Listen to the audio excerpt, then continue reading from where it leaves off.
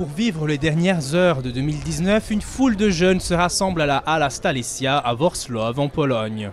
Ces participants de la rencontre de Thésée s'apprêtent à réveillonner d'une manière un peu particulière. Ils viennent les mains vides, mais le cœur rempli d'intentions de prière.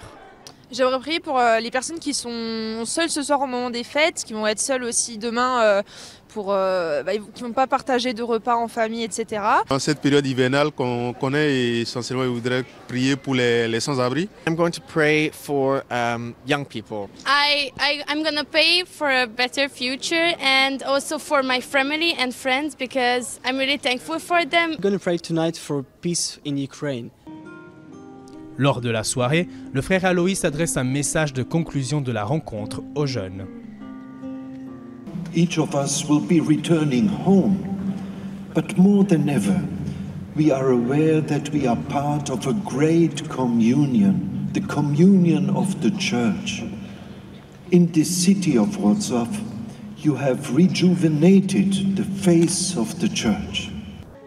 Après la prière du soir, les 15 000 participants se répartissent dans leurs différentes paroisses d'accueil pour fêter la nouvelle année. Ces derniers moments de joie et de fête sont déjà l'occasion de se rendre compte de tout ce qui a pu être reçu pendant ces cinq jours de ressourcement.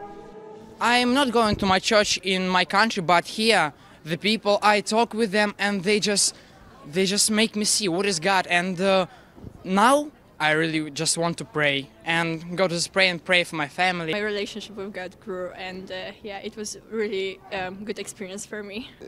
It made me uh, leave my pride and uh, accept uh, others and and value their their good.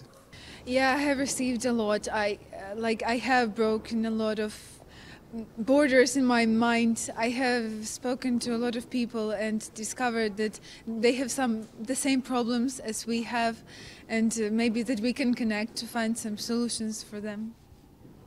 So with this like almost spiritual boost, I'm ready to start the year. So 2020, here I come.